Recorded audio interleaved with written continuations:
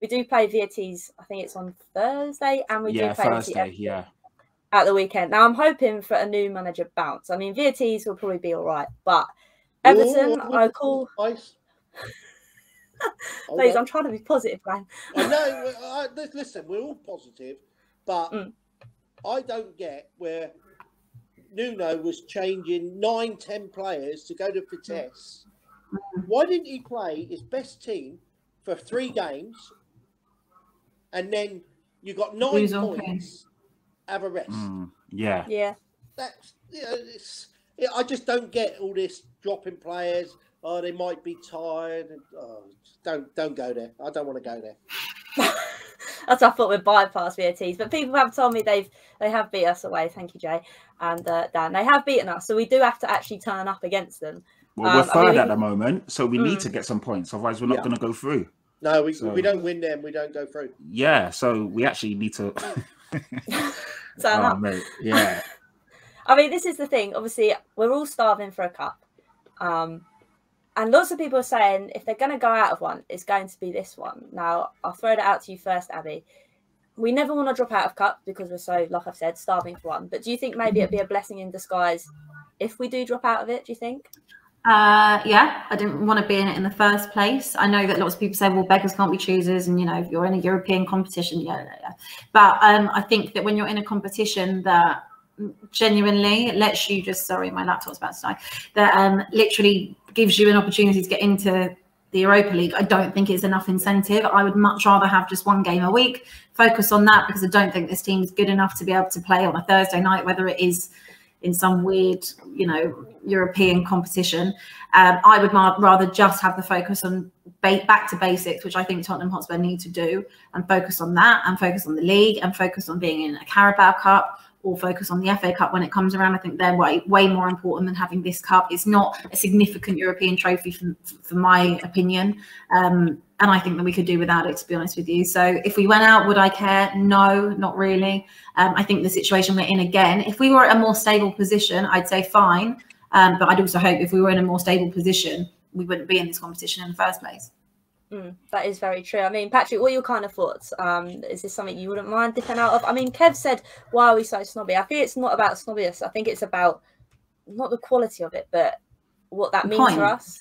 Yeah, What- what's no, the point of it? You know what? I, I totally hear what Abbi's saying, but I want us to go for this, man. We need some sort of trophy, some sort of silverware. And the fact that we're in it, we're, we're in it because we deserve to be in it. We were seventh place. That is where we are right now. I mean, we're currently eighth. So it's kind of our level. But we are, we, us and Roma are probably the two biggest teams in that competition.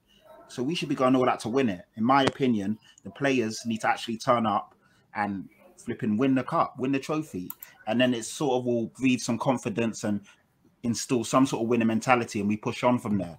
Because we can't keep turning our up at this trophy, turning our nose up at this trophy, this cup. What we can't be so snobby and picky when we haven't won a trophy in what 12, 11, 13 years. So for me, I would say go all out and win it, especially with Conte coming in, and then we take it from there. Mm, I agree. I think that is true. Uh, sorry, Go I, I agree. That's right. Listen, you you enter a competition to win it. You don't enter a competition to say, "Well, I don't want to win that one. I don't." want to Yeah, win that." exactly. Because no disrespect, if we get knocked out of this one, and we get knocked out the week after West Ham, and we get Liverpool in the FA Cup, we got some season, haven't we? We ain't going to win the league.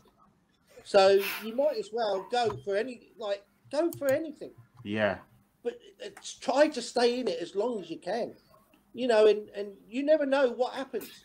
Okay, but just a question for you. Let's say it gets to March time, whatever, and let's say that we've got a game in this competition, and we have a uh, won't be Carabao Cup. Let's say we have an FA Cup semi-final.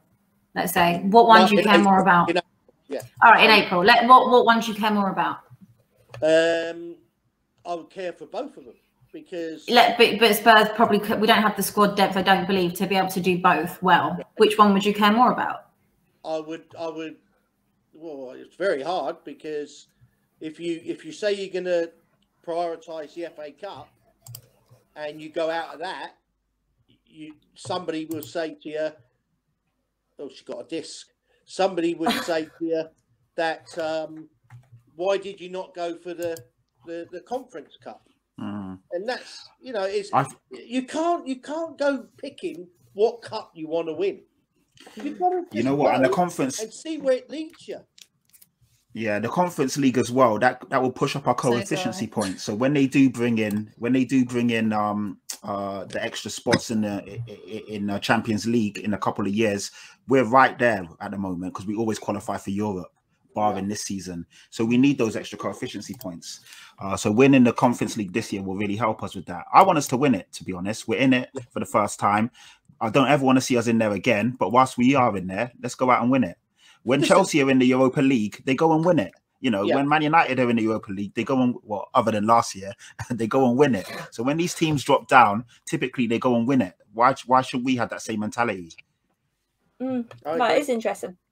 I, mean, I do get what Abbi's saying. I mean, when you look at obviously, she's gone again. She's- Don't like she's me had- agreeing with her. Uh, her battery died, I think, on the laptop, so she's trying to sort her phone out.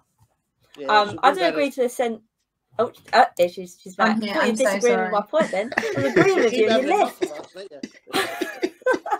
and also I've left Oh. my headphones in the car. It's just I'm not having a good day. No, we can hear you. We can hear you. So as long as you And can you're hear me, I can I can hear you, but it's really low. So I'm just trying to sit Okay, really close with it to my ear.